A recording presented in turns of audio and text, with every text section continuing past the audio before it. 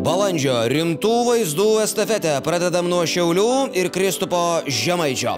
Bicepsams krūvio normaliai davė Žemaitis ir jėgų jau nebematavo. Jų, jų drąsa, čia kly, klysta žemaitis. Su perdavimais ne kažką sekėsi ir Brandonui Filsui. Na, bent jau kamolį ištraukė. O, Mindaugas Girčiūnas. Kala kamolį krepšį Brandonas Filsas ištraukė. Ta kamolį iš užribio tiesiai savo oponentui. Marijonas Mikutavičius kažkada dainavo Aš tau, tu man, aš tavo. Dabar jau aišku apie ką. Vasilija Misičius čia sužaidžia, na, kaip, nežinau, Dzinta dešimta vieta. Virginijaus Šeškaus nuotaikos sugadinti negali niekas. Kaip ir metimo technikos. Tervinas Bristolis atiduoda kamuolį Virginijai Šeškai pastarasis metė iš toli. Aišku, tokie dimšos fokusai daug laimės Virgiui nesuteikia. Rinko taškus priekinė linija.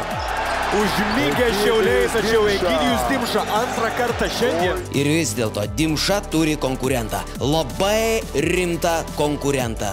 Perišas Petis į atkrintamasias nelabai norėjo. Peti! Ojojoj! Štai Žemaitis ir Beniušis bandė pakartoti Sabetskį ir Birutį, bet sakė, kad tai nepakartojama. Arčiau krepšio. Pakabintas kamuolys yra Beniušiui. Broliai Bolai išvykdami išsivežė ne tik kamolių padavimo mašinas, išsivežė ir nesibaigiančias linksmybės aikštelėje. Ne?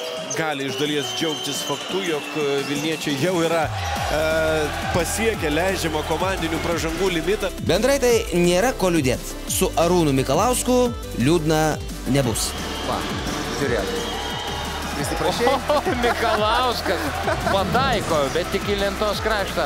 Ir mėly vyrai, pataupykit trenerių nervus. Jūs tik pažiūrėkit, kiek jiems tai kainuoja. Trevonas Hjūzas, pražanga atakuojant iš trijų taškų zonos. Šansas sumažinti atsilikimą per pusę.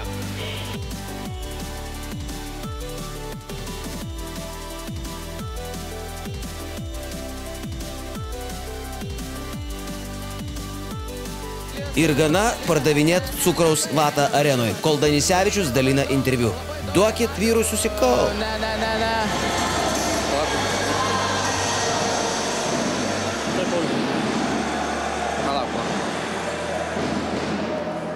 Taip, Paul. E, labai daug detalių.